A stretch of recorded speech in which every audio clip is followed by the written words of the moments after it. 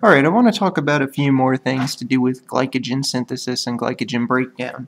And um, what I have here is um, a couple of kind of unique, I guess you could call them an, an enzyme proteins. They're protein, both of them are proteins um, that play an important and vital role in the breakdown and synthesis of glycogen. So what I want, what I have here is a question. I already did the question. I already prepared my answers. It's just easier that way than having me write these all out.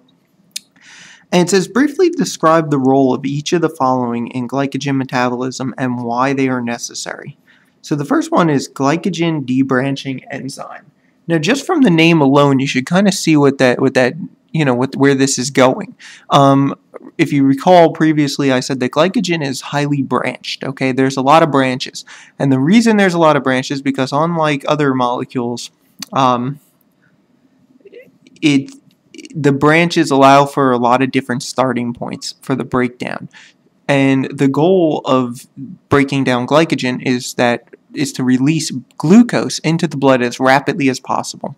So the branching helps release glucose into the blood as, as rapidly as possible. Now, what the debranching enzyme does is the enzyme removes the branches in glycogen. Now, you may wonder why that's important, and, that, and that's important because glycogen phosphorylase reaches a critical point, okay, as it's breaking down the glycogen molecule when there's four glucose units remaining on a branch. Okay, so here's glycogen phosphorylase. It's breaking down, you know, um, glycogen, releasing glucose into the blood. And it reaches this critical point where there's only four glucose units remaining on the branch, okay? And the enzyme is needed because glycogen phosphorylase can't remove those final four glucose monomers, okay?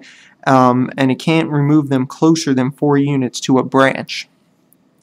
And so what it does is it goes through a process essentially of transferring those four glucose molecules to another branch, okay, and allows the also allows the alpha 1,6, what's known as an alpha 1,6 linkage to be um, to be removed as well. So it plays kind of a dual role there. Essentially what it does is it removes a branch. So when we get to that critical value and we need to remove the branch, it's done using this what's known as glycogen debranching enzyme. Okay? And if it were not available, then glycogen breakdown would stop. And that would be terrible if we really needed glucose. So if we were exercising or doing something, uh, you know, where we needed a lot of energy, this would this would really be detrimental. And the second one I have here is is a protein. It's known as glycogenin. Okay, and this protein is a primer and it's very similar to the DNA primers you might use in like a polymerase chain reaction. I mean, not the same in chemically or anything like that, but the same principle. Okay, the principle is that glycogen synthase, which is the enzyme that synthesizes a glycogen molecule, um, cannot add you know, two independent glucose monomers together. Okay, it has to add from a pre-existing branch. Okay, it already has to have a pre-existing um, molecule essentially to add to. So it just can't form something out of you. You just couldn't. You couldn't put. Let me put it to you this way: you could not put glycogen synthase in a vial and add glucose monomers and have it synthesize a glycogen, uh, a, you know, a full glycogen molecule. All right you have to have this primer. And this primer is a protein. It's called glycogenin.